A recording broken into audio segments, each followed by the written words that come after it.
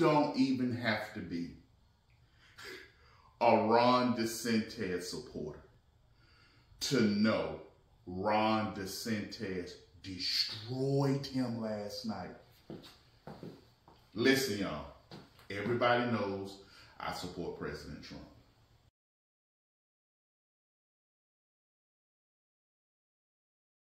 Okay? Everybody knows I'm a Trump supporter. Everybody knows that. But I have to admit, last night, I stopped watching that debate because I was scared somebody was going to call me to be a witness to a raping. Ron DeSantis destroyed that man. Do you understand me?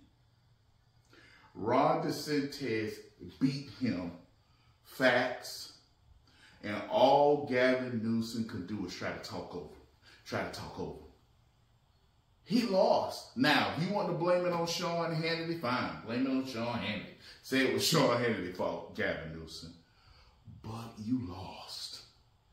Newsom, he beat you on Florida economy. He beat you on the people moving from Florida. He beat you on how you had doo-doo all over the street and you cleaned it up for communist China. When Gavin, when Gavin Newsom heard that, all he could say was no, no, no. And he's literally on tape saying, yes, he cleaned it up for China. He cleaned it up for Chairman Yao. Yes, he did. He even admitted it. Ron DeSantis totally beat him. I don't know if Ron DeSantis had his heels in his boots, but he took them booted heels and he put them all up Gavin Newsom's hind part.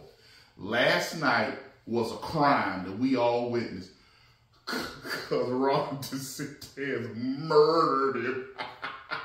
Good one. For all you Ron DeSantis supporters, he showed up last night and he won that one.